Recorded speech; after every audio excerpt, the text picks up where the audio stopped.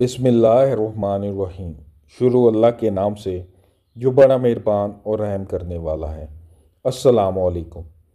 حضرت ابو حریرہ رضی اللہ عنہ سے روایت ہے کہ رسول اکرم صلی اللہ علیہ وآلہ وسلم نے ارشاد فرمایا، ہر دن صبح کے وقت آسمان سے دو فرشتے نازل ہوتے ہیں۔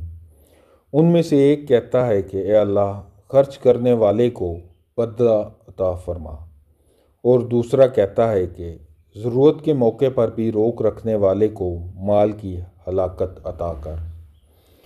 میرے دوستو، اس حدیث مبارکہ کے تناظر میں سب سے پہلے جو بات یہاں پر سمجھنے کی ہے، وہ یہ ہے کہ اللہ رب العزت کے قائم کردہ نظام کائنات میں ہزاروں نہیں، لاکھوں ایسے واقعات ہوں گے جو انسان کی آنکھ اور اس کے حواس کی دسترس سے باہر ہوں گے۔ ہماری آگاہی صرف ہمارے محدود علم اور محدود تجربہ تک کی ہوتی ہے۔ مشاہدات کی بنیاد میں جو کچھ ہو رہا ہے، سائنس اسے معلوم کرنے کی کوشش میں مصروف ہے۔ نت نئی معلومات ہم تک پہنچ رہی ہیں اور ہم سائنسدانوں کے کہنے کی وجہ سے انہیں ماننے پر مجبور ہیں۔ انکار کرنے کی کوئی وجہ نہیں۔ اسی طرح روحانی یا باطنی نظام میں بھی بہت کچھ وقوع پذیر ہو رہا ہے۔ جہاں عام انسان کی آنکھ کی رسائی ممکن نہیں۔ انبیاء علیہ السلام اس نظام کی باریکیوں سے خوب خوب واقفیت رکھتے ہیں اور ان کی طاقتور صلاحیتیں ان کا ادراک کر لیتی ہیں اور وہ گائے بگائے ان سے پردہ اٹھاتے رہتے ہیں۔ عقل اور ایمان دونوں کا تقاضا یہ ہے کہ جو کچھ انبیاء علیہ السلام کی زبانی ہمیں معلوم ہو، ہم اس کے سامنے سر تسلیم خم کرتے ہیں کہ یہاں بھی انکار کی کوئی وجہ نہیں، کہ ان کا فرمایا ہوا سچ کے سوا کچھ نہیں ہوتا۔ اس حدیث میں امام الانبیاء حضرت محمد صلی اللہ علیہ وآلہ وسلم نے ایک دن کے اندر ہونے والے غیبی واقعات میں سے صرف ایک واقعے کا تذکرہ فرمایا ہے کہ ہر دن کی صبح کو دو فرشتے آسمان سے اترتے ہیں اور دو باتیں کہتے ہیں یا یوں کہیے کہ وہ دو دعائیں کرتے ہیں۔ ایک فرشتہ کہتا ہے کہ اللہ جو شخص تیرے حکم کے مطابق اپنے مال کو خرچ کر رہا ہے، تو اسے اس کا بدلہ عطا فرما۔ اور جبکہ دوسرا فرشتہ کہتا ہے کہ اللہ جو شخص ضرورت کے موقع پر بھی مال خرچ کرنے سے گریزاں ہیں اور بخیل ہے، تو اس کے مال کو تلف کر دے حدیث شریف کے الفاظ سے معلوم ہوتا ہے کہ ان دو فرشتوں کی دن کی صرف یہی ڈیوٹی ہے، جسے وہ پوری پابندی سے ادا کرتے ہیں۔ اور سمجھ میں آتا ہے کہ اعلانات کا یہ سلسلہ اسی طرح قیامت تک جاری رہے گا۔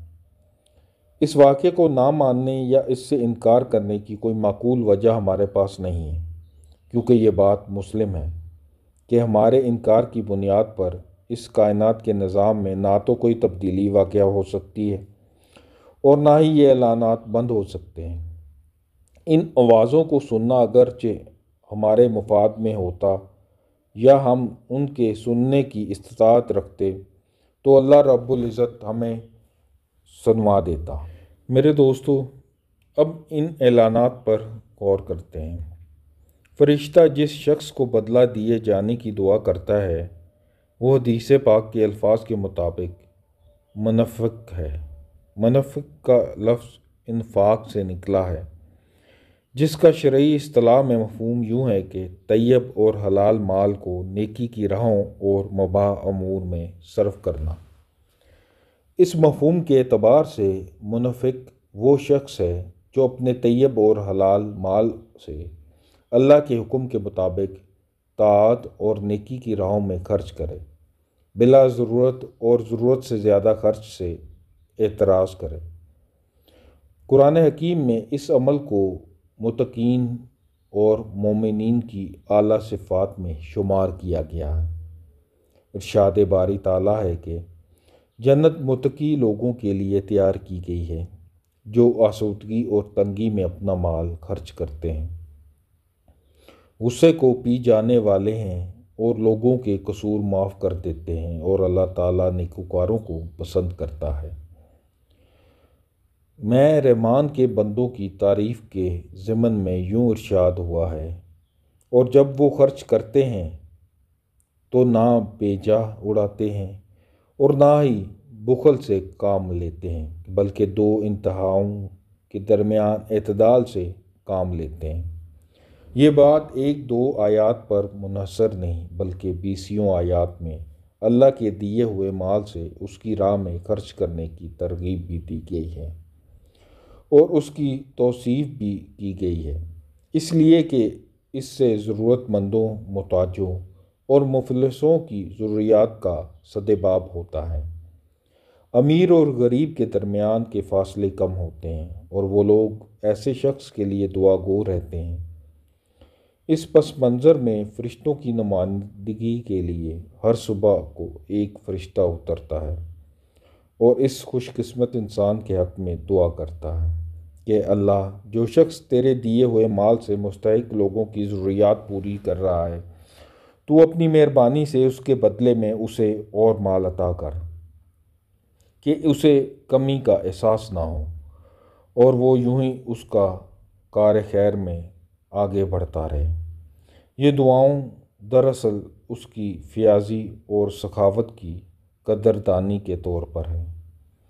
قرآن حکیم میں ہے کہ جو کچھ بھی تم اللہ کی راہ میں خرچ کرتے ہو، اللہ اس کے بدلے میں تمہیں اور دے گا۔